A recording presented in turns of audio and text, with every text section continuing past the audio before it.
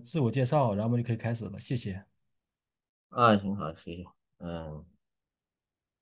那么我我叫李元发，是中科院的呃地理所的那个嗯老师，然后目前主要是嗯，然后我做了个深度学习也做了很多年，然后做这种图像处理的话，因为我们做了个遥感，土地利用覆盖啊、分类啊、公告啊都都会用到这些东东西，所以也做了很多这方面的工作。那么今天再给大家分享一下这个我最近的就是一篇论文，就是它是讲这个 contrast learning 和这种语言学习之间的这样一种一种关系，然后它通过一些嗯巧妙的方法，就是来设计通过语言学习来做这种类似这种 contrast learning，就是自监督学习的这样一个功能，也就在给大家分享，然后也也给大家给讨论一下，嗯，然后。嗯，那么，那么就是这篇文章。那么这个作者是马里兰大学的几位呃老老师还有学生，就是做做了一篇论文。嗯，那么首先我介做做做这个自监督，应该大家都很清楚，就是先做个简要的一个背景嘛。就是说，做非监督的这种自监督学习的话，它是 一个比较重要的技术吧。然后它最主要的特点就是有大量的这种非标注的样本数据。然后，然后做预训练，最后做微调，嗯，来得到一个预测。那么，传统的这种监督学习的话，像在医学可能也是类似的，像在我们遥感领域的话，它会，呃，会有大量的标注样本需要标注，但这个费用非常的昂贵，所以如果有这种自监督学习的话，它会大幅的提高这种效率。然后通过自监督学习，呃，得到这种预训练模型的话，效果确实是比那个，呃。直接训练的要好很多，就是像呃最火的大语言模型，其实它很大的基础就是自监督学习，就它其实就是对大量的那种文本、上页的文本做做自监督学习，最后就产生这种涌现的这种能力的这种涌现，就也是类似的。呃，那么考家长类的话，它是一一种自监督学习的一种嘛，然后还包括自监督学习，还包括了这种。像那种 reconstruction 那种 open code 的类似的这种方法，然后自监督学习它是其中另外一种。然后这种方法它就其实是一种对比学习的这种方法吧。然后它，嗯，它首先把这个图像映射到一个 embedding 空间类，就是嵌入式空间，然后它会对它们这种类似的图像呢算它们的距离，然后不类似的图像呢算它们的距离。然后它的审测函数的话，就是说能保证类似的图像它这种距离是最接近的。然后不类似的，呃，负的这种，呃，负样本的话，它的距离是无限大的。然后这是它构造的一个审视函数。那么它通过这个，嗯，这是第一第一种审视函数，就达到这么一个一种目标，就是说，呃，距离类似的图像，它这个审视是接近零的。然后如果是非类似的话，它就趋向于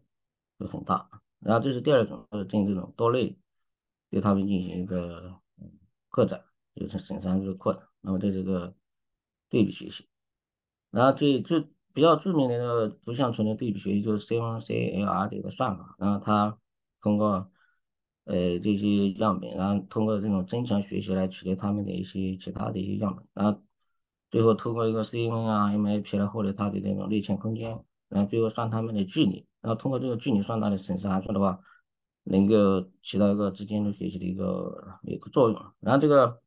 方法的话，通过这种预训练学习的话，它可以提高，它大幅提高它这个嗯就就微调的这个精度。那么这篇文章最后就谈到我们这个这篇文章的话，他就提出了，呃，根据这种他们这种对比学习还有 语言学习的一个思路的话，就提出能不能用语言学习来。来提高这种来进行自监督学习，就类似这种对比学习。那么这是他这篇文章主要的一个呃主要的点嘛。然后他就说，呃，给出一些非标注的数据集，然后呢，呃，对每个样本它都会产生一个增强的数据集，比如说有可能是加一些噪点啊，或者旋转啊，反正很多种这种呃呃图像增强技术吧。然后他获获得一批样本，然后他这里面每个每个。数据点，因为每个那个判情的话，它可能就是作为一个呃，作为一个类，就它这里面的类，image class 就定义为每个每张样每张图片，然后每张图片呢，同类的它就是通过图像增强获得的，然后不同的图片之间，它会认为它们是不同图像之间，他们他会认为他们是。呃，是父父类，然后他就，然后这个，然后语言学习最重要的就是它这个任务的这个设计是 task 的一个设计，然后它是可以通过 task 的这个设计，嗯，然后这个原模型来来拟合，使它更适用于各个 task 自己的呃任务，呃的话，然后它会获得一个适应性更强的一个原模型，那么这是它的一个基本的原理，然后通过这个呃样本类的这个图像增强的一个设计的话。来加来实现这样一个之间的学习的功能。那么它跟这种 CLR 呃那个比较的话，它会语言学习它会抽抽取多次，然后呢，它会比较所有的样本对，而而原模型的话，它其中它有个 support example，还有就是它的一个呃 query example，然后它会对这个。原模型这个优化的时候，它就是直接对这个 query example 的话，对他们来求他们审查函数，对它进行优化。嗯，然后就是最后的话，它会对嗯嗯 CL CLR 的话，就这种比较嗯，就直接对整批数据进行训练，就直直接算他们的那个对比的那个审查函数，所以它跟原模型的区别还是比较大的。那么这是它的一个算法的一个框架吧，嗯，就这个之间的学习，然后这些像内循环、外循环、微调啊这类的，它，嗯，它这个其实跟一般的语言学习都是类似，它的主要的差别就是，呃，每个样本它会做一个图像增强的一个处理，然后每个图像样本的增强后的图像呢，它会作为它的一个同类，然后不同的图不同类之间它会。觉得它是呃不同的类，然后都会放到那个原原的嗯任务里面，会作为一个类别样本，所以这是它最比较我觉得设计比较的独特的地方。然后通过这样一些内循环、外循环的一个训练的话，提高它这种语言学习的一个任务。就最后就是这个最后这个 update 的话，就是它的呃外循环的一个参数的一个优化。因为呢这个呃右边那个图的话是它的一个。对比学习和语言学习的一个一个对比图，然后它它这个审视函数，还有它的这种任务分割的一些差异，嗯，所以它这个设计的话还是比较巧妙。然后它成为，然后右下的它有 B 位，嗯，B 位和 K shot，然后这里原来它这里 B 位的话就是那个 batch size，然后每个每个的那个嗯图像的，它会作为。作直接作为一个类了，然后它增强的图像就作为这个类里面的那些思考的一些影像。那通过这个语言学习的话，他就发现比那个对比学习的话精度有所提高。比如说，他这里列出了八八套数据吧，八套数据的话精度都是最高的。这个它 R R two D two 是另一种语言学习方法，还有嗯这种原型网络是另外一种更简单的语言学习方法。然后发现这个 R two D two 啊，它这个原型学习精度是最高的，然后它可以，比如说第一关会达到提高了百分之二，就是说嗯精度，然后反正大概会提高百分之二以上吧，呃二到三左右，然后这个效果还是不错的。呃，另外这篇文章最后还提到这个旋转，我觉得也挺有意思，就是它嗯图像增强，我们知道有有一种图像增强叫做图像的旋转。就把它转转一定的角度，然后它这里的话就是说，它发现如果呃这样图像增强的时候，它可能你可以随机的选随机的旋转它，而且可以单张图片它旋转角度不一样。但这种这种旋转，它其实发现效果并不是太好，而它这里就提出说，呃某一类，